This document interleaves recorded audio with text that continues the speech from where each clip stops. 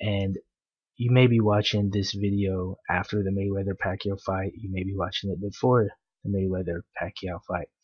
And my goal is to not date this video so it could be as relevant um, for as long as possible. So I'm not going to do any predictions and I'm not going to do any recap. So that's not what this video is about. I'm not going to tell you when what date I make I made this video, but you could probably figure it out. So it pretty much doesn't matter.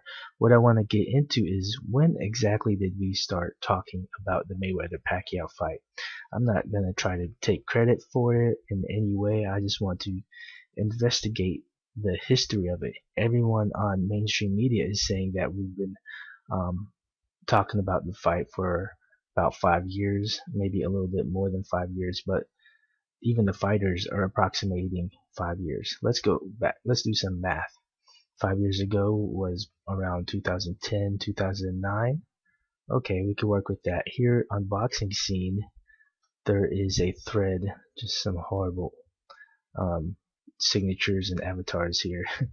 but this is a thread from 2009 pretty much 2010. This was December 30th, 2009, and this topic is basically about the the drug testing, uh, the cutoff days, and and pretty much the USADA, and you know we're not gonna get into the specifics of that, but the date is 2009.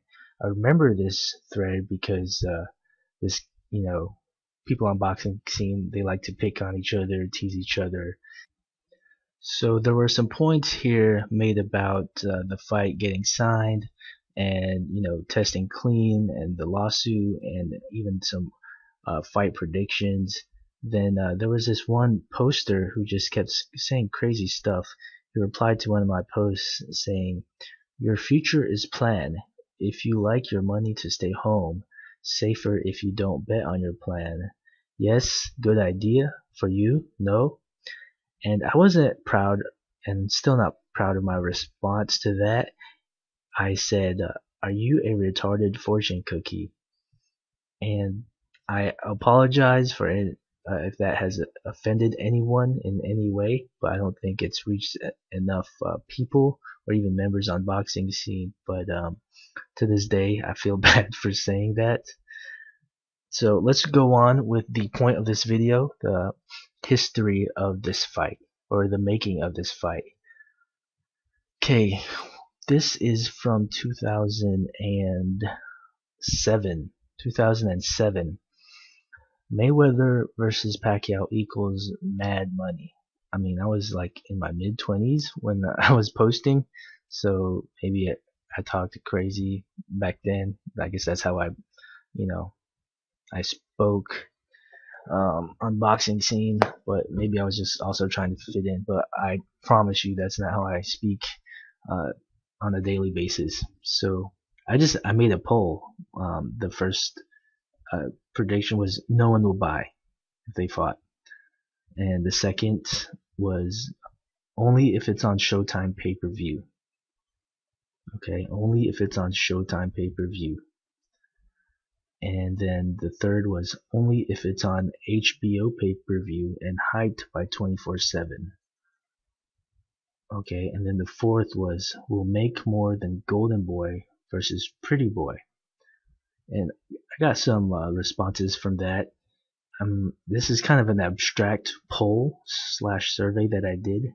Let's see what I wrote. With the fan base picking up Pac-Man and PBF regarded as number one, tailed by Manny at number two on the pound for pound list, can this fight rake in more money than Oscar De La Hoya versus Pretty Boy Floyd? So that's what it was about pretty much. I was trying to compare it to the money um, made from Floyd Mayweather and Oscar fight. And yeah, this is in 2007. How many years ago is that? 2007.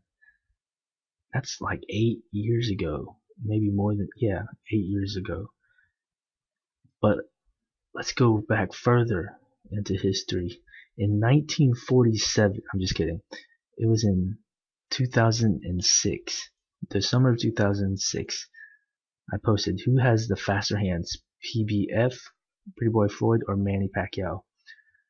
Pretty Boy Floyd is not any bigger than Morales as far as height and reach. Um, I don't know what I was trying to make, say there. I'm thinking, I think I was trying to bring up, yeah, the Pacquiao Mayweather fight then because Morales and Mayweather shared the same height and even similar reach. And I was trying to see what everyone else thought about it. Um, this guy said Mayweather Pacquiao doesn't have the speed when he gets inside the ring. Mayweather by far, it's not even close. Then I said BS, it's closer than y'all think. And then this guy said it really isn't. Oh my gosh. This guy says Floyd May Mayweather. This guy says this is called hateration and bitterness, but it's all cool. I think Mayweather's faster, plus he also throws shorter punches. Mayweather is the faster fisted fighter. This guy says my friend Pacquiao has just as fast or faster hands as Mayweather when they don't have the gloves on. When they have the gloves on, Pacquiao ain't uh, concentrating on speed but power, so he slows down because he tightens his fists and muscles. Mayweather, on the other hand, is trying for speed and not power. He's more relaxed, and I think, unlike Pacquiao, makes a fist just before he makes contact, as you suppose, so you, don't lose speed. These guys are professionals. They understand this concept of clenching your fist and your muscles tightening up. Okay, I'm not going to get into that. This is 2006.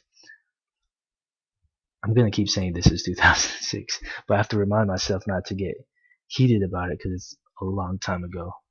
This guy says Pac is slower. Mayweather throws his shots short and rips behind him. Pac tends to throw longer shots. Alright. This guy says Pac speed's overrated.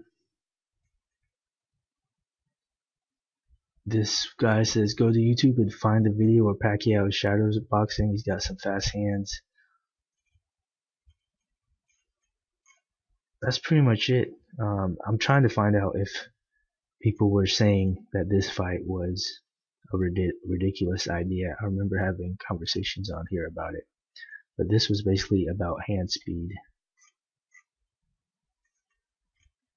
Alright guys, um, that's pretty much it. I'm going to go ahead and sign off for now. Got a bunch of stuff to do. Alright, peace out.